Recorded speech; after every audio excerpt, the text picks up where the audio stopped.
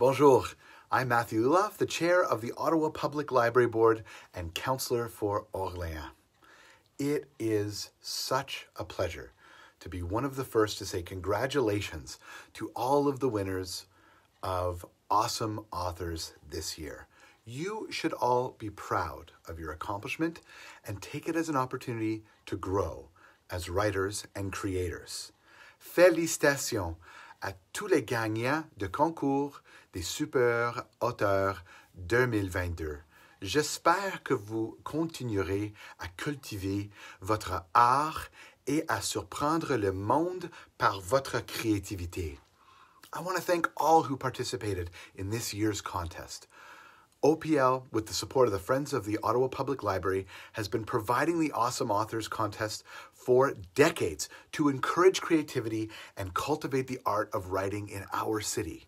Each year, young writers from the Ottawa region are invited to submit an original piece of writing in English or French in one or all of the three categories poetry, short story, and comic. OPL received 518 entries this year, which is more than we received in previous years. How exciting to know that we have so many young authors here in our beautiful city of Ottawa. Ainsi, près de 518 jeunes ont répondu à l'appel cette année, une année que personne n'oubliera de sitôt. Nous sommes touchés par le talent, la créativité et l'imagination incroyable de nos jeunes écrivains. Nous sommes d'autant plus émus par leur message de résilience et leur capacité de traduire ce qu'ils vivent dans les mots d'espoir et de solidarité pendant cette période difficile. We're also moved by the participants' ability to use writing as a means of escape and, and expression in such unnerving times. A warm thank you to all of our jury members Catherine Austin, Amelinda Berubi, Eric Pelado, Jean Luc Bélanger, and Khalifa Apollo the Child Hamden for their generous work in being such an inspiration to these young writers. Nos membres de jury ont travaillé sans relâche pour la réalisation de ce concours. Leur passion et dévouement grandement appréciés. Finally, I want to highlight the remarkable support that the Friends of the Ottawa Public Library Association has given us, which has made this contest such a success.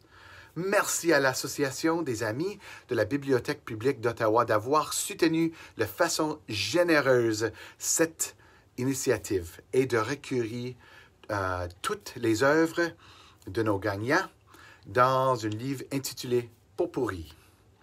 Be sure to get a copy of the Potpourri anthology later this year.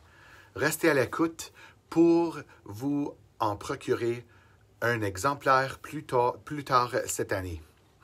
For those who would like to be a part of this journey in 2023, keep, please keep your eye out on our website and social media for updates about the contest. And we will see you next year. À l'année prochaine. Merci et bravo. Congratulations to all.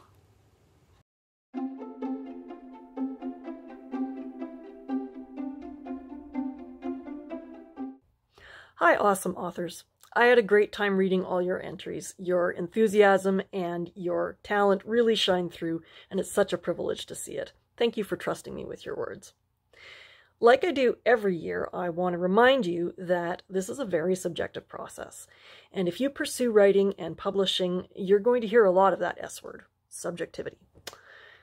Any submission process, whether you are entering a contest or submitting to a magazine or a publisher, it really comes down to individual perspective.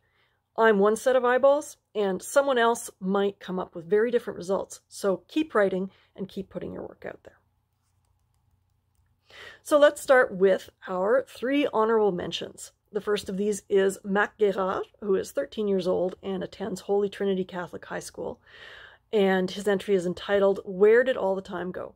Mac used repetition and concrete details to great effect to show how, uh, how two people have grown apart over many years. Next, we have Max Zostalo, who is also 13, for a story entitled The Queen of the Mind. This entry built a great creepy voice that was really evocative of the sinister hive mind portrayed in the story.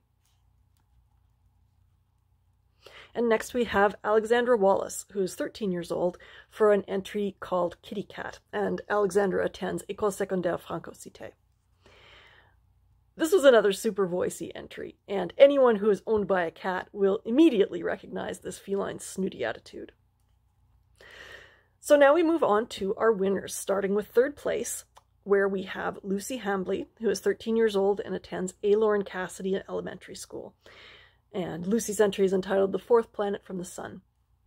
This entry gives us an evocative snapshot of an astronaut right at the point they've been working toward their whole lives it really captures the optimism and the finality of that moment. In second place, we have Sophia Hughes, who's 15 years old, and her story is entitled The Raven's Gold. I really love the vivid imagery and the dark fairy tale atmosphere of this piece. It tells the story that the villagers tell outsiders and then reveals the terrible reality, as well as a glimpse of hope.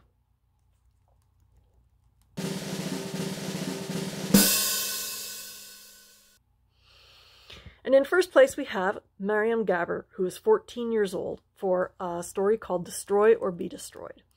Mariam gives us a believable monologue full of painful details, and it paints a vivid picture of a toxic friendship. Bit by bit, it builds towards a grim twist. That's it for this year. Congratulations to all the winners, and to all the awesome authors who submitted entries to the contest. I hope I get to read your words next year.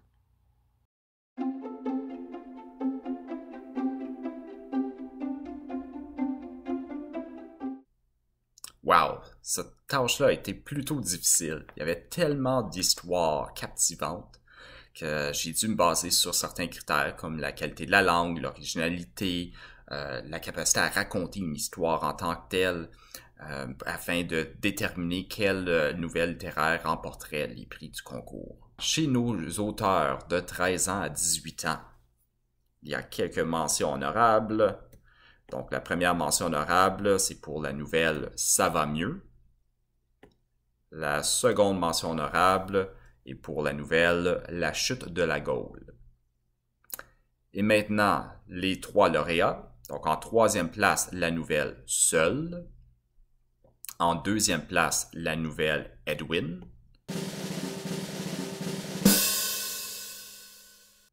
Et en première place, la nouvelle Ment pour moi.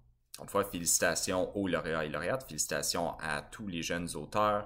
C'est fantastique de voir qu'il y a autant de talent dans la région, puis je vous souhaite de réaliser euh, tous vos rêves en tant qu'auteur.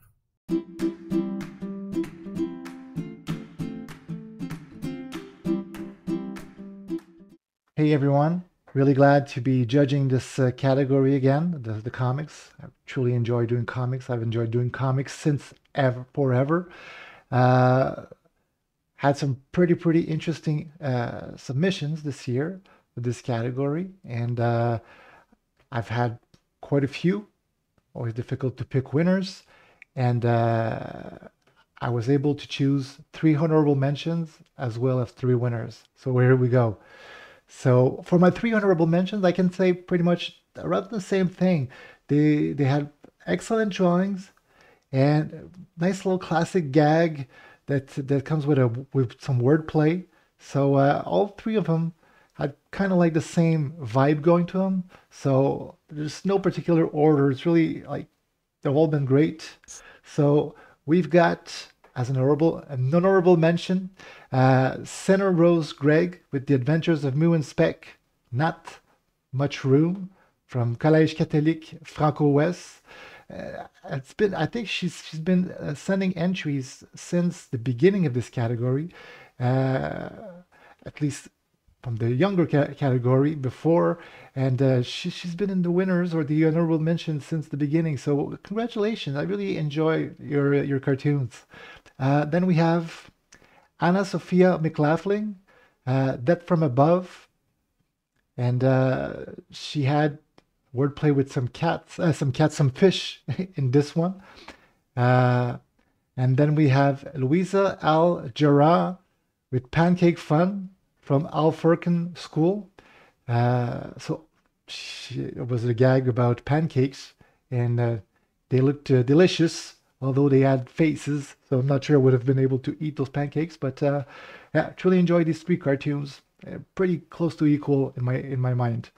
Um, then for the uh, the three positions, we've got Dana Xiao for uh, X equals off the pages. Uh, she also was one in the past. I, I'm familiar with that name. And this cartoon was well drawn, but pretty creative too. She used mathematics as her, her, her to, to the focal point of her scenario, and it's pretty interesting, pretty interesting story. So uh, congratulations to Dana. Then we've got in second place Amal Khan with Little Astronaut. Uh, very well drawn. It's very inspired by The Little Prince, but he has his own take on it. Uh, or she has her own take on it.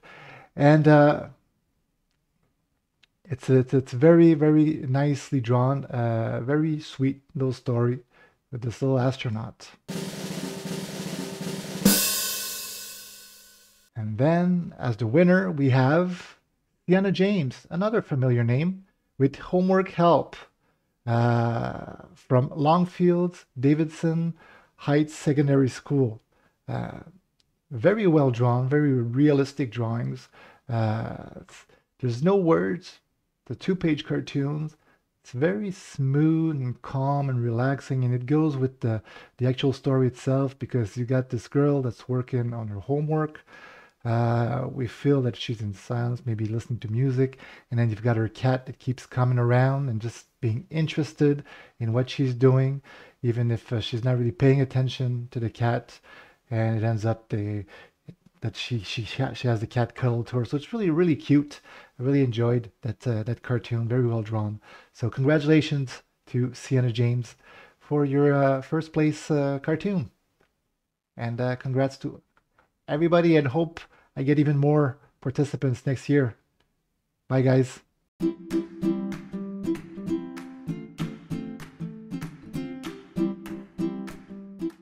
Alors, pour les grands, euh, j'ai pas eu beaucoup de participation cette année.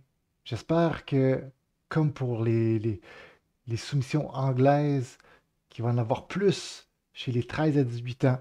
Donc, c'est pour, le, pour cette raison que parmi les entrées que j'ai eues, j'ai décidé d'en choisir un pour faire une vraie compétition. Alors, la personne que j'ai choisie, euh, j'ai choisi en fonction de plusieurs critères, dont la créativité, euh, le scénario, le dessin. Et la personne euh, qui se mérite une première place, la seule gagnante dans cette catégorie,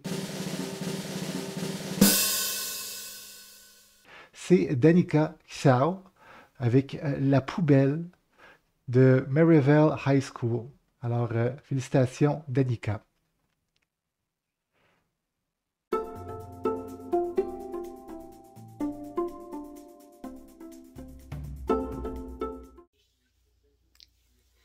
What is going on? My name is Khaleefa Hamdan. I go by the stage name of Apollo the Child. Uh, I was the judge for this year's Awesome Authors Poetry Contest. Uh, I want to take the time to thank the Ottawa Public Library and friends of the Ottawa Public Library for giving us this platform uh, to be able to share poetry and judge poetry. So, congratulations everyone who submitted. You're all winners of my book uh, because i know how hard it is to you know put your poetry forward to be graded and uh, competed against other people. Trust me i speak from experience. So congratulations everyone. If you didn't win this year please do not be discouraged. Uh, i can tell you the competition gets really really thick and like very close so try again next year. So without further ado here's how it's going to work. We got six poets who won. Uh, we got top three honorable mentions and then top three poets in general. Um, so we're gonna do it in the order of three, two, one. I'll try my best to get your names right. And if I do make a little mistake, I do apologize. I know how important names are, but I will try my best. So without further ado, I got my list of winners right here. And the third honorable mention, we got Dana Chow with Love Letters. Congratulations. The poem was very, very well written. Um, I felt good reading it. It was a great poem. I think you did an exceptional job. Please keep writing. Uh, second honorable honorable mention, we got Cleo Carney with Polished Marble from Elmwood School. This one was very heart wrenching. It really took me on a journey that like I came out being like, I, I wanted more. so, congratulations, Cleo. Please keep writing. First honorable mention, we got Andrea Fofuka with Whatever Audible Wishes to Be Heard. This one was another one that I think was executed very, very well. I love the content, I love the delivery, I love the work, I love the writing. I was jealous, I won't lie. Congratulations, Andrea. Please keep writing. In third place, we got Alyssa Khan from Sir Wilfrid Laurier from Soot and Coal. This was another one that really, really kind of grabbed me by the heart. It was very heart wrenching, um, and I just I wanted more. so congratulations, Alyssa. Please keep writing. It's the staying. Second place, we got Chloe Danks with Free Flying Raven. And this was another poem that was very, very well done, uh, very important, very topical in terms of current events. So, congratulations, Chloe. Please keep writing. And in first place for 2022 Awesome Authors Poetry Contest, we got Mallory Quinn with Black Picket Fence. And this poem was very, very well written. Uh, the narrative was amazing. It's a very, very important message. So, congratulations, Mallory. Please keep writing. Thank you all for submitting. Uh, I hope to see you guys next year. Uh, do not get discouraged if you didn't hear your name. Congratulations and have a great, exceptional day.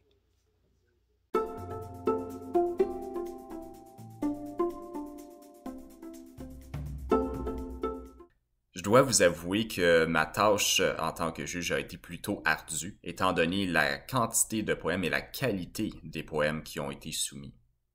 J'ai dû me baser sur certains critères, comme la créativité, la qualité de la langue, l'originalité du propos, le style, etc., pour pouvoir déterminer euh, quel poème gagnerait ce concours. Chez nos poètes euh, de 13 ans à 18 ans, il y a trois mentions honorables ainsi que trois lauréats. Donc, pour commencer avec les mentions honorables, euh, le poème Étude en ré mineur, le poème Aimé, le poème Feu tricolore. Et nos trois lauréats, donc en troisième place, le poème La fenêtre, en deuxième place, le poème La mort, et en première place, le poème Facteur biologique. Félicitations à tous les lauréats et les lauréates. Félicitations aussi à tous les candidats qui ont soumis des euh, poèmes de très grande qualité. Je vous encourage de continuer d'écrire, continuer de vivre cette passion-là que vous avez pour l'écriture. C'est vraiment fantastique de voir tout le talent qu'il y a dans la région.